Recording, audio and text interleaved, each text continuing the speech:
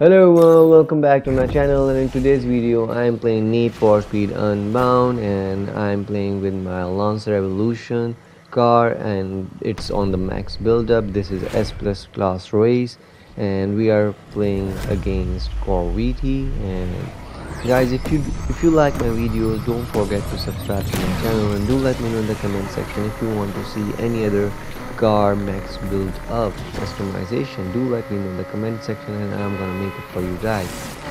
So guys s plus class races are amazing and this game has been tremendous and it's a lot of fun playing with the other opponents. They, they, they are very good opponents and these races are very very tough.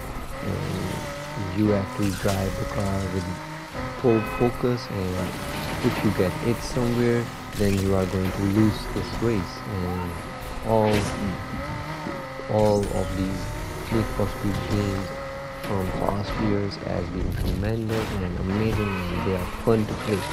So guys if you want to see any other max buildup of any other car do let me know the comment section and I'm gonna make it for you guys. So guys don't forget to subscribe to my channel and like my videos as well. See you see you guys in the next video with another video. Bye bye